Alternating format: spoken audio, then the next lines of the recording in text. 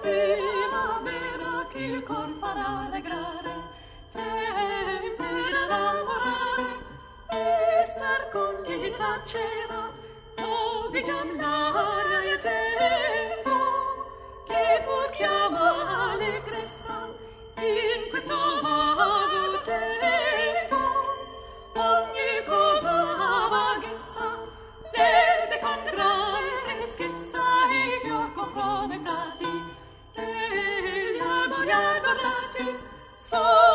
insieme in manera che la